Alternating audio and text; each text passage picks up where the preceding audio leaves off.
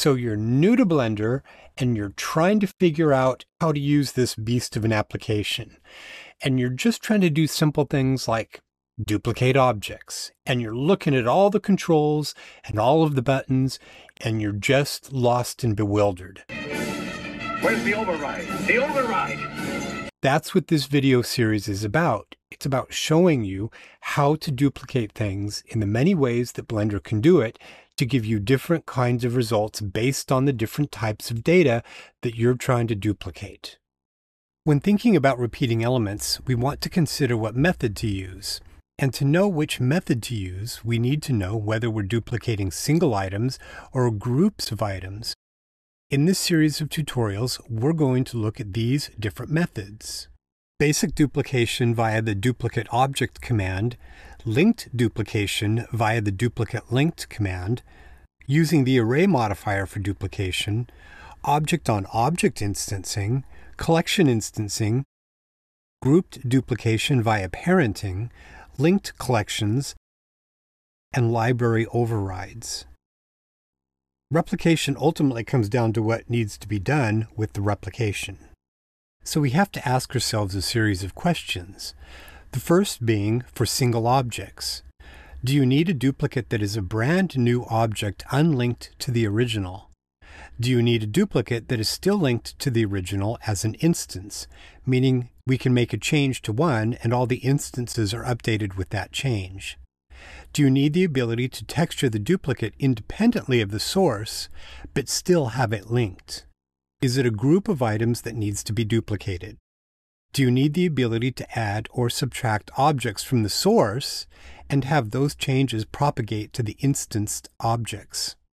If it's a group of items, is it necessary to control the individual components of the duplicates? Meaning, do you want to move or rotate or scale individual components, but still have it linked back to a primary source? So we're going to begin looking at some very, very simple examples of what we're talking about. I'm going to start off the scene by adding a cylinder, and this will be our starting point. What we want to do is duplicate this in a couple of different ways, and we're going to focus on single object duplication.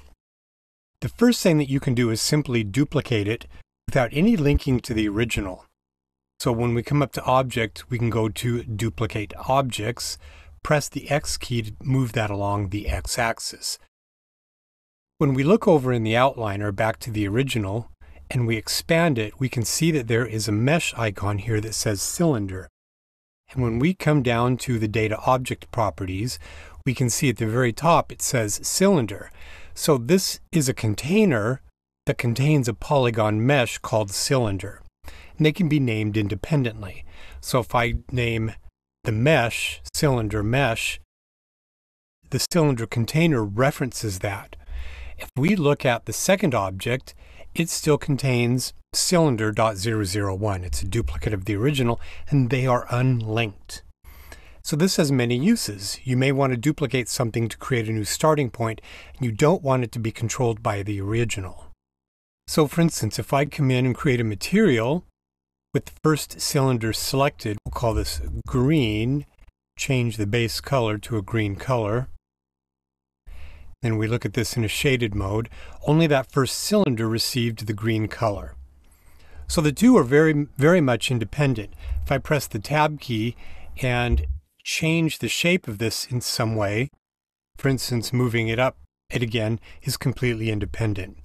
So let's remove the duplicate and then use the duplicate linked command, press the X key, move it off to the side, and now these two are completely linked. When we expand this, we can see that both of them reference cylinder mesh. So if I edit the duplicate, both of them are linked together and it doesn't matter what I do to one, the other changes. So this can be really good.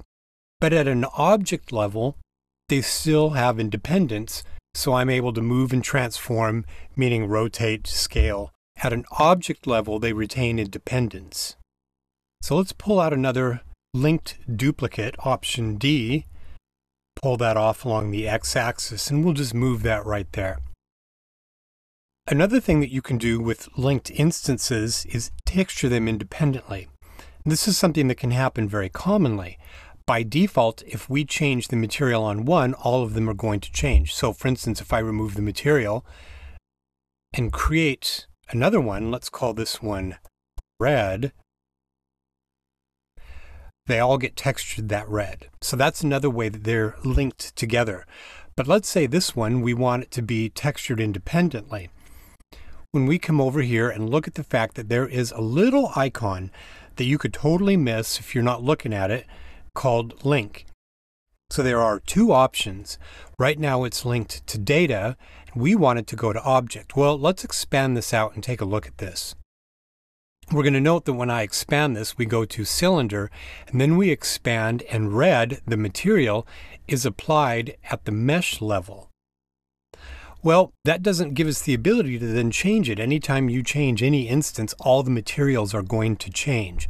So we will change this so that it goes to the object level, and then we need to assign material green and it overrides, and green becomes the material that's assigned at the top container level to this object, and then it becomes independent. This is something that can be very useful for still retaining the ability to come in, say, for editing, make a change, but have a material degree of independence. So let's say that we want to now operate at more of a group level as opposed to an individual object level. What I'm going to do is remove these and let's create a couple more linked duplicates. So Option D, X, and then I'm going to press R a couple of times and we'll come over to this one and we'll give this an independent material. So I'm going to set this material linked at the object level and then we'll give it a green material just to make it interesting. In Blender, one of the things that you do for organizing objects is work at the collection level over here in the outliner. A collection is just a way of organizing objects in the hierarchy of objects in the collection. And so what we want to do is take these four objects and put them into their own collection.